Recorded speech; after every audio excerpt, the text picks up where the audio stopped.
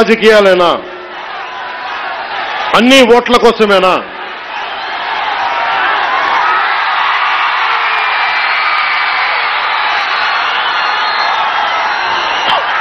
నా జీవితంలో ఇలాంటి రోజు రాకూడదని ప్రార్థన చేశాను. మనస్ఫూర్తిగా చెప్తున్నాను. నా తల్లి పాదాల సాక్షిగా వెంకటేశ్వరుడి పదాల సాక్షిగా ఏ రోజు కూడా ఇలా మాట్లాడాల్సిన రోజు అవసరం రాదు అనుకున్నా. కానీ వైసీపీ నాయకులు తెప్పించారు ఈ రోజున.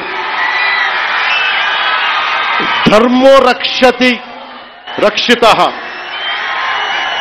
ధర్మాన్ని నువ్వు రక్షిస్తే ధర్మం నిన్ను రక్షిస్తుంది.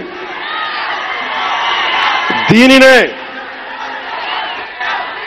eminent jurist legal luminary Nani Palkhivala గారు చెప్పారు ఒక మాట. ధర్మో రక్షతి రక్షత అని ఆయన చెప్పిన మాట లా ఈజ్ కోడిఫైడ్ ధర్మాన్ని.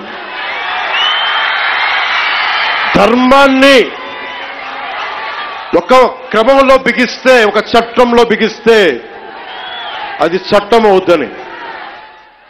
ఈ రోజున నాకు అన్యాయం జరిగింది నేను బయటికి రాలా.